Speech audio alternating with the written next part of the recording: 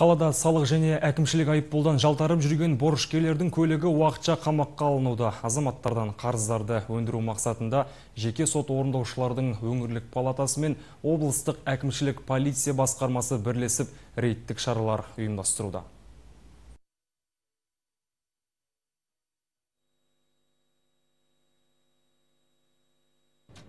Шахардың орталық көшелеріне жорыққа шыққан автоураган жол патрульдік полициясының техникасы берешегі бар автокөлік иелерін қашықтықтан анықтауға мүмкіндігі зор.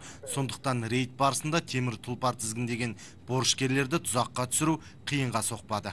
429 Нөксағаловтағы тоқтау жеріңіз 429 әкімшілік айыппұл төлеуден жалтарып жүрген мына жүргізушіге жеке сот орындаушы заң талаптарын түсіндіріп мемлекетке қанша берешегі бар екенін арнайы базадан анықтап берді.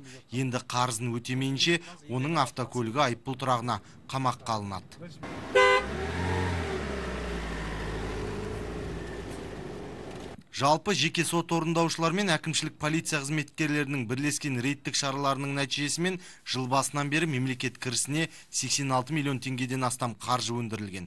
Алдағы уақытта осы бағыттағы пәрменді жұмыс жалғасын таба бермек. 13320 әкімшілік айыппұл өндіру туралы істің 4973-ін аяқталу қол жеткізілді. Салық берешегі бойынша 3758 істің 1535 аяқталып яғни мемлекет пайдасына 37 миллион 171 мың теңге жеке сот орындаушылармен нақты өндірілді.